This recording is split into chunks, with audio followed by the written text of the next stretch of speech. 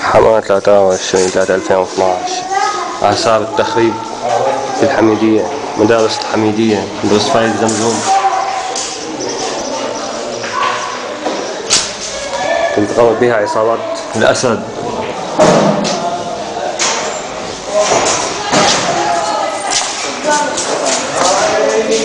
Yeah.